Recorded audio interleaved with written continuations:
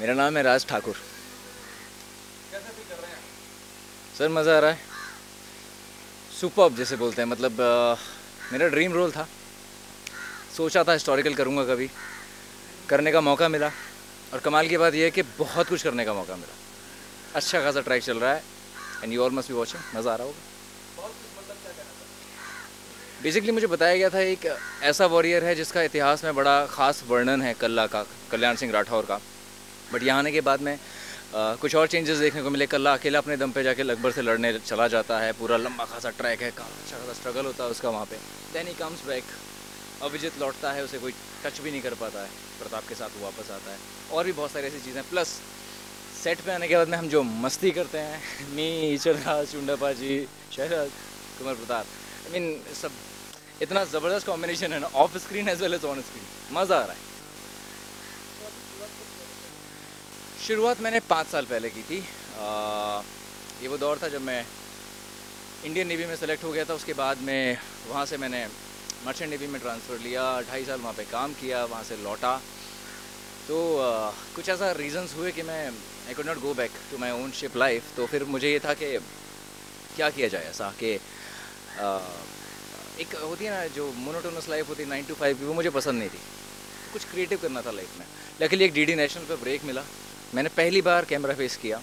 उसके बाद मैंने थिएटर्स करना स्टार्ट किया। मेरा लाइफ का पहला जो शॉट था, वो वन टेक शॉट था। मेरी प्रोड्यूसर ने मेरी तालियाँ बजाई थी और उसके बाद I have never look back मेरा फ़र्स्ट शो का नाम था मियाँ पकाउद्दीन जो एक कॉमिक शो था।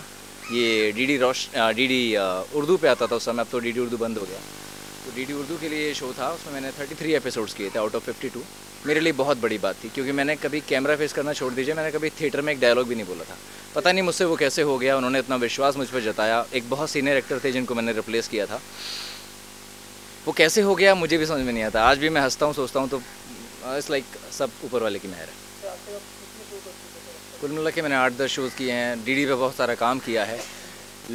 लेकिन एक बड़ी अफसोस वाली बात है डी नेशनल वाले जो एक्टर्स होते हैं, उनको बहुत ज़्यादा नोटिस करते नहीं हैं लोग। हालाँकि सबसे बड़ा चैनल माना जाता है वो बट अभी खैर जी सीज ने टेक ओवर कर लिया है तो नो प्रॉब्लम्स अभी जी सी में हिस्टोरिकल मेरा पहला है. इसके पहले मैंने सच का सामना अपीयर किया था राजीव खंडेलवाल के साथ में I was there I was the winner of rupees fifty lakhs season two में सबसे बड़ा विनर मैं ही था. It was telecasted on life okay उसके बाद मैंने कुछ टाइम के लिए ब्रेक लिया था, फिर कुछ एक रियलिटी शोज़ किए चैनल वी वगैरह पे. फिर एक फ़िल्म की मैंने Tamil film Thalaiva then I did one Telugu movie जिसमें I am playing a biker जो मेरा नेगेटिव कैरेक्टर है. It run parallelly with the hero बहुत मज़ेदार कैरेक्टर है। फ़र्स्ट हाफ़ में ये चंपू है सेकेंड हाफ़ में ही turns out to be devil उसके अंदर से चीज़ें निकलती हैं बाहर, वो कुछ और ही बन जाता है। तो I am loving that character also बहुत मज़ेदार चीज़ें और तेलुगु इंडस्ट्री में they are very discipline people same Tamil भी। तो it's been a good experience learning experience रहा है।